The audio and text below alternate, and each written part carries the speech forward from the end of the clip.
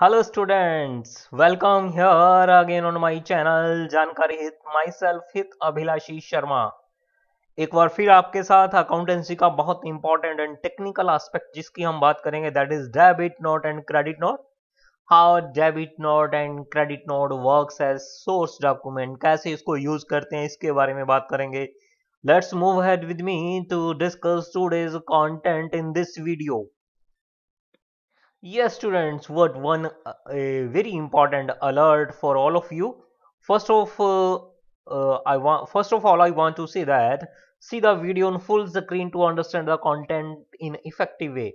अगर सारे कंटेंट को सही ढंग से देखना है समझना है क्योंकि रिटर्न कंटेंट होता है तो उसको फुल स्क्रीन कर कर देखें वीडियो को चाहे आपके पास मोबाइल हो सेल या फिर आपके पास पीसी या लैपटॉप कुछ भी यूज़ कर रहे हो see the video on full screen second alert is that see the complete video to get complete content and knowledge पूरा ज्ञान लेना है तो पूरी वीडियो देखें बहुत कुछ सीखने को मिलेगा.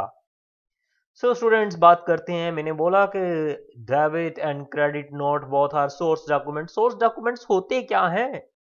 आज का टॉपिक हम यहीं से शुरू करते हैं. स्त्रोत दस्तावेज़ क्या है ये? All documents which supports the transactions for recording are called source document. बहुत इंपॉर्टेंट बात है जो मैं बात कर रहा हूँ। इसको ध्यान से समझें। सारे ही डॉक्यूमेंट्स कागज़ पत्र, दस्तावेज़, जो बिज़नेस में या किसी ऑर्गेनाइजेशन में हर टाइप की ट्रांजेक्शन्स को रिकॉर्ड करने के लिए यूज़ किए जाते हैं, उस रिकॉर्डिंग का जो बेस बनते हैं, जो कागज़ पत्र उनको हम सोर्स डॉक्यूमेंट कहते हैं। अब बात ध्यान से समझो। बिज़नेस में जो बिज़नेस का हेड कैशियर या कोई भी कॉम्पिटेंट एम्प्लॉय है, जो सारा अकाउंट मेंटेन कर रहा है, सारे हिसाब किताब को देख रहा है, अब उसके सामने तो ना तो वस्तुएँ विक्र उसकी वस्तुओं को ना तो सेल किया जा रहा है, ना परचेज हो रहा। वो कहाँ बैठ के करता है? वो कोई सेल परचेज यूनिट पर नहीं बैठा होता। उसको तो डॉक्यूमेंट्स प्रोवाइड किए जाते हैं कि इन डॉक्यूमेंट्स को देखो और रिकॉर्डिंग करो। अकाउंटेंसी का सारा हिसाब किताब पूरा करो। एज अ डबल एंट्री जो रूल्स होते हैं, उनको फॉलो करते हुए। तो उस टाइम जो डॉक्यूमेंट्स उसके सामने रखे जाते हैं, जिनको देख के वो डिफरेंट टाइप की रिकॉर्डिंग करता है, उन सभी कागज़ पत्रों को, उन सभी दस्तावेजों को हम सोर्स डॉक्यूमेंट कहते हैं। समझ लगा? These documents prove the origin of the transaction इन सभी कागज़ पत्रों को या दस्तावेजों को देखकर पता चलता है, जो लेन देन है, उसकी उत्पत्ति कहाँ से हुई? मतलब क्या है लेन देन कब का है ये? These indicates are nature date amount and parties involve in transaction किसी लेन देन में कौन सी पार्टीज़ इन्वॉल्व थी? किस टाइप की ट्रांजेक्शन है? डेट अमाउंट कैसा है? वस्तु की क्वालिटी के बारे में भी हो सकता है लिखना। लिखा भी कौन सी वस्तुएँ हैं? It is return proof of the transaction ये किसी भी ट्रांजेक्शन का, किसी भी लेन देन का एक रिटर्न प्रूफ होते हैं सोर्स डॉक्यूमेंट समझ लगी मेरी बात? ऐसे नहीं अकाउंटेंट बैठे भी अपने आप कोई बोल देगा, लिख देगा no they have authenticated proof कुछ इंपॉर्टेंट बुक्स की बात करते हैं जिनमें रिकॉर्डिंग करते हुए जो डॉक्यूमेंट सोर्स डॉक्यूमेंट के रूप में यूज़ होते हैं, वो कौन कौन से हैं? जैसे बड़ी इंपॉर्टेंट सब्सिडी बुक होती है कैश बुक कैश बुक में हमने पता है कि वहाँ एक कॉलम होता है वोचर नंबर वही तो सोर्स डॉक्यूमेंट है। तो सोर्स डॉक्यूमेंट जो कैश बुक के लिए रिक्वायर्ड होता है, वो होता है कैश मेमोज और कैश वोचर्स जब भी कैश की पेमेंट होती है, या कैश रिसीव होता है तो उस हालत में एक वोचर पे, एक डॉक्यूमेंट पे साइन करवाए जाते हैं कि इतने पैसे दिए जा लिए। वो कैश वोचर है। उसी को देखकर उसका नंबर डालकर कैश बुक में रिकॉर्डिंग करते हैं, जो कैशियर होते हैं। सेकेंड सब्सिडी बुक आपके सामने है परचेज बुक परचेज बुक में आपने देखा होगा कि वहाँ लिखा होता है इनवाइस नंबर तो इनवाइस नंबर के साथ एक वर्ड लिख रखा है इनवर्ड क्योंकि जब परचेज करते हैं तो गुड्स बिज़नेस में आ रही हैं। जहाँ से वस्तुएँ परचेज की थी सप्लायर से, उसने एक इनवाइस दिया होगा जिसको बिल कहते हैं साधारण भाषा में। तो उस बिल का या इनवाइस का एक नंबर होता है। क्योंकि वस्तुएँ आ रही हैं तो हम उसको समझने के लिए दोनों टाइप के इनवाइसेस में डिफरेंस करने के लिए इसको इनवर्ड इनवाइस कह देते हैं। इनवर्ड इनवाइस फ्रॉम सप्लायर जिसने वस्तुएँ हमें सप्लाई की थी, जिससे परचेज की, उस इनवाइस का भी नंबर होता है। That is also source document purchase return book इसका जो सोर्स डॉक्यूमेंट है, वो डेबिट नोट इसके बारे में हम आज बात करेंगे। सेल्स बुक सेल्स बुक का जो सोर्स डॉक्यूमेंट होता है, वो भी एक इनवाइस ही है। उसका नाम डिफ्रेंशिएट करने के लिए आउटवर्ड इनवाइस कहते हैं, क्योंकि जब सेल करते हैं तो बिज़नेस कस्टमर को एक इनवाइस कार्ड कर देता है, जिसमें सारी डिटेल लिखी होती है कौन कौन सी वस्तुएँ किस रेट में सेल की हैं तो उसको आउटवर्ड इनवाइस कहते हैं। वो भी सोर्स डॉक्यूमेंट है, उसको देखकर ही रिकॉर्डिंग की जाती है। सेल्स रिटर्न बुक का जो सोर्स डॉक्यूमेंट है, वो है क्रेडिट नोट आपको क्रेडिट नोट के बारे में और डेबिट नोट के बारे में हमारी वीडियो का आज का मेन हिस्सा है उसमें डिस्कस करेंगे। जर्नल प्रॉपर का जो सोर्स डॉक्यूमेंट है, वो ट्रांसफ़र वॉचर्स हैं डिफरेंट टाइप के। जो दूसरी टाइप की एंट्रीज होती हैं, वो सारे के सारे वॉचर्स एक सोर्स डॉक्यूमेंट के रूप में काम करते हैं, जो इन सभी सब्सिडी बुक्स पाँच को छोड़कर अलग सी जो और एंट्री है, जो जर्नल प्रॉपर में आती हैं। तो स्टूडेंट्स बात करते हैं आज के टॉपिक की। सबसे पहले मैंने बोला कि डेबिट नोट क्या है? जो हमारा आज का मेजर इशू है। It is a source of recording source की बात कर रहा हूँ, वही साधन है भाई ये। किस चीज़ का? रिकॉर्डिंग का अकाउंट से रिलेटेड जो हिसाब किताब रिकॉर्ड करना है, उसका साधन है। कौन? Debit note for purchase return books ये कौन सी return book purchase return book का सोर्स डॉक्यूमेंट है debit note it is a document science by a business to the person to whom goods are return ये ऐसा कागज़ पत्र दस्तावेज़ है जो उस बिज़नेस उस सप्लायर को भेजा जाता है, जिसको परचेज की हुई वस्तुएँ रिटर्न की जा रही हैं। As a documentary documentary proof debit note साथ में भेजा जाता है। इसमें होता क्या है? क्यों भेजा जाता है?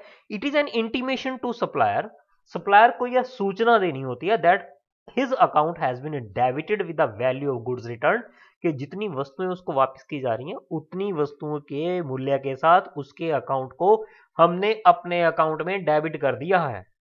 और due to any other cause या किसी और कारण कारण अगर सप्लायर के अकाउंट को डेबिट किया है तो भी डेबिट नोट भेजा जाता है। डेबिट किया करने का मतलब समझो, जब किसी से परचेज करते हैं तो एंट्री होती है purchase account debit to supplier उसका नाम होता है। मान लो हम उसको वापस कर रहे हैं तो supplier account debit to purchase return ये ध्यान रखो। तो हम उस सप्लायर के अकाउंट को डेबिट करते हैं। तो ये उसको एक इंफॉर्मेशन देनी होती है डॉक्यूमेंट्री प्रूफ के रूप में कि उसको वस्तुएँ भी वापस भेजी जाती हैं। वस्तु में कोई नुक्स होता है आउटडेटेड हो चुकी है, उसकी ड्यू डेट हो चुकी है, कोई एक्सीडेंटल कारण के कारण वो डैमेज हो गई हैं तो वस्तुएँ वापस कर दी जाती हैं जो परचेज की हुई हैं। तो जब उसको परचेज रिटर्न करते हैं तो साथ में एक डॉक्यूमेंट्री प्रूफ भेजते हैं that is debit note which is intimating the supplier that his account has been debited उसको ये सूचना दी जाती है कि उसके अकाउंट को डेबिट कर दिया गया with the help of debit note a he can record the transaction in his books as a documentary proof next one format of debit note debit note होता कैसा है? हाउ देखें। सबसे पहले कुछ मेन बातें। यहाँ, सबसे ऊपर जो मैं बता रहा हूँ, यहाँ तो जो डेबिट नोट तैयार करने वाला बिज़नेस हाउस है, वो अपना एड्रेस लिखता है। और यहाँ पर टू करके उस फॉर्म का एड्रेस लिखा जाता है, जिसको डेबिट नोट भेजा जाता है सप्लायर को। और फिर एक पूरा फॉर्मेट बन जाता है, एक एग्जांपल लेते हैं। सबसे पहले डेबिट नोट का फॉर्मेट देखिए डेबिट नोट या ladies selection the mall Shimla मान लो हम है ये। हम डेबिट नोट तैयार कर रहे हैं ladies selection the mall Shimla यहाँ पर हमारा phone number fax number email ये आपको पता है, होते हैं मेंशन साथ में ये बड़ा इंपॉर्टेंट चीज़ है invoice number two two four ये 224 नंबर इनवाइस के साथ कुछ वस्तुएँ परचेज की होंगी। अब उन्हीं वस्तुओं को वापस कर रहे हैं एज ए परचेज रिटर्न इसलिए उस इनवाइस के नंबर को एज ए रेफरेंस लिखना ज़रूरी है ताकि वहाँ से चेक किया जा सके तब वस्तुओं का प्राइस क्या लगाया था कौन सी टर्म्स एंड कंडीशन थी जब वस्तुओं को परचेज किया था। तो उसका रेफरेंस नंबर लिखा जाता है। तो डेबिट नोट का रेफर अपना नंबर हो गया। जैसे 303 है यहाँ पर। डेट आ जाएगी यहाँ पर। टू जिसको हमने डेबिट नोट भेजना है, जैसे यहाँ मैसेज चौपड़ा गारमेंट्स कांगड़ा वालों को भेज रहे हैं तो उसका नाम आ गया। इसके साथ साथ में लिखा जाता है क्लियर रूप में we are debiting your account with the value under mention goods return to you for the reason stated below आपके अकाउंट को हम डेबिट कर रहे हैं इन वस्तुओं की वैल्यू के साथ जो नीचे लिखी गई है, साथ में रीजन भी बताया गया क्यों वापस कर रहे हैं। टू परचेज रिटर्न क्योंकि परचेज डेबिट होता है तो purchase return credit ten and twenty that is quantity ladies suit cotton suit इसको, इसका मैटर नहीं है, वो जैसा बिज़नेस होगा, वो वस्तुएँ आ जाएँगी। ट्रेड डिस्काउंट था तो वो भी माइनस हो जाएगा, अगर परचेज पे ट्रेड डिस्काउंट था तो परचेज रिटर्न पे भी ट्रेड डिस्काउंट माइनस होगा। वो माइनस किया तो नेट वैल्यू बन गई, जैसे यहाँ पर है ten thousand three hundred fifty जैसी ट्रांजेक्शन होगी, उतनी वैल्यू बन जाएगी। नीचे वो लेडीज़ सिलेक्शन वाला जो कोई पार्टनर है मैनेजर है, वो यहाँ साइन कर देगा, ये ऑथेंटिकेटेड एक डॉक्यूमेंट तैयार हो जाएगा as a source document for those things for those goods which are going back as a return एक बड़ी इंपॉर्टेंट चीज़ आप देख रहे हो छोटी सी चीज़ है ई एंड ओ ई बहुत सारे लोग इसको इग्नोर कर देते हैं। भाई, इसका भी मतलब होता है। हर इनवाइस पे, हर डेबिट नोट क्रेडिट नोट पे ऐसे डॉक्यूमेंट्स पे ऐसा लिखा होता है ई एंड ओ ई पहले इसका मतलब देखो, पूरा एब्रीवेशन जो वर्ड है, अगर फुल फॉर्म बनाए तो क्या है? एरर एंड ओमिशन एक्सपेक्टेड गलती और भूल की संभावना है। यस अगर कभी कुछ इसमें गलत लिखा जाए तो इसको प्रॉपर चेक कर लिया जाए। ये एक इंडिकेशन होता है कि अगर गलती हुई तो जानबूझ के नहीं की, एक क्लैरिकल मिस्टेक है, हो सकती है। ऐसा लिखा होता है डॉक्यूमेंट्स में कि जानबूझ के कोई गलती नहीं की जा रही किसी भी डॉक्यूमेंट में। ऐसा इसलिए यहाँ पर भी ये लिखा हुआ है। अब देखते हैं डेबिट नोट कहाँ यूज़ करते हैं। जब परचेज रिटर्न बुक बनती है, मैंने बोला कि जब हम परचेज रिटर्न कर रहे हैं, तब डेबिट नोट तैयार होता है। परचेज रिटर्न बुक का फॉर्मेट देखो डेट पर्टिकुलर ये है डेबिट नोट नंबर इसको यहाँ मेंशन किया जाएगा। जैसे हमारा वो 303 था यहाँ पे लिख देंगे डेबिट नोट नंबर जितना भी होगा, किस टाइम में कौन सा नंबर होगा, वो हम मेंशन कर देंगे। बाकी ledger folio amount detail total remarks जब परचेज रिटर्न बुक से रिलेटेड क्वेश्चन होते हैं स्पेसिफिकली वहाँ पर ये क्लियरली रूप से हम इसको अप्लाई करते हैं। नेक्स्ट वन अगर दूसरा सोर्स डॉक्यूमेंट की बात करें, जो आज हम डिस्कस करेंगे, वो है क्रेडिट नोट अगर डेबिट नोट क्लियर है ना अभी उसकी ही कड़ी है आगे क्रेडिट नोट अब जिस व्यक्ति ने, मान लो, हमने वस्तुएँ वापस तो भेज दी, हमने डेबिट नोट भेज दिया कि सप्लायर को बोला कि आपको अपने अकाउंट में हमने डेबिट कर लिया इतने अमाउंट के साथ अब जिसको वापस भेजी है उसने हमें क्रेडिट किया या नहीं किया? हमारे पास डॉक्यूमेंट्री प्रूफ क्या है? उसने वो अमाउंट एडजस्ट कर लिया या नहीं? यस yes, उसका documentary proof as a source document क्या होता है? क्रेडिट नोट आओ देखें क्या है ये। It is a source of recording for sales return book yes जब हमने परचेज की थी तो किसी ने तो सेल की। जो सप्लायर है जब भी कोई बिजनेसमैन सेल की हुई वस्तुएँ अपने कस्टमर को उसने सेल कर दी, वापस प्राप्त करता है तो उसके लिए वो सेल्स रिटर्न होता है। It is a document issued by seller to the buyer और कस्टमर ये वो डॉक्यूमेंट है जो सेलर द्वारा, बेचने वाले द्वारा बायर को, खरीदने वाले को या अपने ग्राहक को दिया जाता है। हु रिटर्न गुड्स जो वस्तुओं को वापस भेजता है। जिसने वापस भेजी, उसके लिए तो वो परचेज रिटर्न था। परंतु जब अगर हमारे पास वापस आई तो हमारे लिए वो सेल्स रिटर्न है, क्योंकि हमने पहले सेल की थी। अलॉन्ग विद डेबिट नोट जब गुड्स उसने वापस की थी तो उसने वापस की थी विद डेबिट नोट तो अब हम उसको इंफॉर्मेशन देंगे। क्या देंगे? It is an intimation to him that his account has been credited with the net value of goods returned or allowance claimed in case of partially damaged or inferior quality of goods or wrong calculation invoice उसको ये सूचना दी जाती है कि उसके account को इतने amount के साथ क्रेडिट कर दिया गया उन वस्तुओं की वैल्यू के साथ, या जो वापस की हैं, या जो आधी डैमेज्ड थी, जो इन्फीरियर क्वालिटी थी, या इनवाइस में कोई गलत कैलकुलेशन थी, उसके कारण अब आपके अकाउंट को हमने क्रेडिट कर दिया है। ये उसको इंफॉर्मेशन दी जाती है। ध्यान रखना कस्टमर को या बायर को। क्लियर हो गया? ये है क्रेडिट नोट क्रेडिट नोट का फॉर्मेट देखें, क्या है? क्रेडिट नोट ऊपर लिखा हुआ है, ये उसका नंबर आ गया 34 यहाँ पर क्रेडिट नोट तैयार करने वाली बिज़नेस का अपना एड्रेस होता है, ये सारा।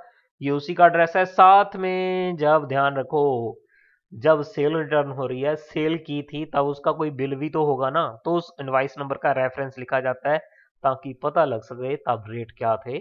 जब सेल रिटर्न हो रही है, तब भी सेम कंडीशंस होनी चाहिए। टर्म एंड कंडीशन डिस्काउंट है या नहीं है वो सारा सेम होना चाहिए। उसको देखने के लिए उसका रेफरेंस नंबर लिखा जाता है इनवाइस का। इसके अलावा इसमें एक रेफरेंस नंबर होता है डेबिट नोट क्योंकि क्रेडिट नोट तैयार किया जाता है। जब डेबिट नोट और गुड्स वापस आ जाती हैं, तब जो सप्लायर है वो अपने कस्टमर को बताता है कि आपके अकाउंट को क्रेडिट कर दिया गया, उसको एज ए सोर्स डॉक्यूमेंट वो क्रेडिट नोट भेजता है। टू मैसेज यहाँ पर उस फर्म का नाम आ जाता है जिसको भी क्रेडिट नोट भेज रहे हैं। साथ में लिख दिया we are crediting your account with the value under mention goods return by you for the reason stated below हम आपके अकाउंट को क्रेडिट कर रहे हैं। उन वस्तुओं के कारण जो आपने हमें वापस भेजी हैं और साथ में कारण बताया गया क्यों वापस भेजी हैं। मान लो यहाँ पर उसने ये दोनों टाइप की वस्तुएँ वापस भेजी, वो कुछ भी हो सकती हैं, जैसे यहाँ क्रोसिन टैबलेट हैं टेबल्स हैं, इसके अलावा साथ क्रोसिन टैबलेट्स हैं और साथ में कफ सिरप है। उनकी वैल्यू बन रही है इतनी, बीच में से ट्रेड डिस्काउंट माइनस किया नेट वैल्यू है एटी वन हंड्रेड साथ में रीजन देखो है being the outdated goods sent मान लो वस्तुएँ आउटडेटेड हो चुकी थी, पुरानी हो चुकी थी, उनको वापस भेजा है। क्लियर रीजन साथ में लिखा होता है। फॉर मेडिसन किंगडम उनका जो पार्टनर है मैनेजर है, जो कॉम्पिटेंट एम्प्लॉय है, वो यहाँ साइन कर देगा। साथ में वही ओ एंड ई ओ भूल चुक की संभावना है। यस गलतियाँ हो सकती हैं। एरर एंड मिशन एक्सपेक्टेड आपको ये था क्रेडिट नोट क्रेडिट नोट का यूज़ होता कहाँ है? सेल्स रिटर्न बुक में। यस क्योंकि जब सेल्स रिटर्न होती है, तभी तो क्रेडिट नोट है, वो भेजा जाता है। डेट आप देख रहे हो परफॉर्मा सेल्स रिटर्न बुक का पर्टिकुलर ये है क्रेडिट नोट नंबर इसको यहाँ मेंशन किया जाता है, जो भी क्रेडिट नोट उस ट्रांजेक्शन का होगा। लेजर फोलियो अमाउंट रिमार्क्स ये सेल रिटर्न बुक का परफॉर्मा था जिसमें क्रेडिट नोट यूज़ हो रहा है। सो स्टूडेंट्स बात जब हम ये जान चुके हैं तो जल्दी जल्दी बात कर रहे हैं, दोनों में डिफरेंस क्या है? पहले डेबिट नोट की बात करेंगे, फिर क्रेडिट की। एक पहले ही बता दूँ मैं आपको। फोर्थ नंबर देखो यूज़ ऑफ़ ब्लू इंक तभी तो मैंने इसको ब्लू कलर में बनाया भाई। डेबिट नोट ब्लू इंक से बनता है, एक परंपरा चली आ रही है और credit note use of red ink और रेड इंक से हमने भी रेड में बनाया। तो और डिफ्रेंशिएट करते हैं ब्लू और रेड में। मतलब डेबिट एंड क्रेडिट नोट में डिफरेंस क्या है? Prepared and sent by customer to supplier customer अपने सप्लायर को वापस भेजता है। और credit note prepared and sent by supplier to his customer जब डेबिट नोट प्राप्त हो जाता है तो सप्लायर अपने कस्टमर को क्रेडिट नोट भेज देता है। It inform supplier that his account has been debited with given amount ये सप्लायर कस्टमर अपने सप्लायर को ये इंफॉर्मेशन देता है with with the help of debit note that his account has been debited कि उसके अकाउंट को डेबिट कर दिया गया है। और इसमें तो उल्ट है, आपको पता ही है, बिल्कुल रिवर्स है। इट इन्फॉर्म्स कस्टमर दैट ये अब सप्लायर कस्टमर को इंफॉर्मेशन देता है कि आपके अकाउंट को हमने क्रेडिट कर दिया गया है, जो आपने सेल्स रिटर्न की, जितने की वो वस्तुएँ हैं। Third source document for entries in purchase return और रिटर्न आउटवर्ड बुक एक ही ध्यान रखना परचेज रिटर्न और रिटर्न आउटवर्ड बुक एक ही होती है। क्योंकि रिटर्न आउट मीन्स रिटर्न कर दिया, बाहर चला गया। बाहर तो वही जाएगा ना जो परचेज किया था। So the same name is purchase return and purchase return outward both are same books इनके लिए ये सोर्स डॉक्यूमेंट होता है डेबिट नोट और सेल रिटर्न बुक और रिटर्न इनवर्ड बुक के लिए सोर्स डॉक्यूमेंट क्या होता है? क्रेडिट नोट ये ध्यान रखना। रेड और ब्लू इनका मैं बता चुका हूँ फिफ्थ डिफरेंस देखें इनमें।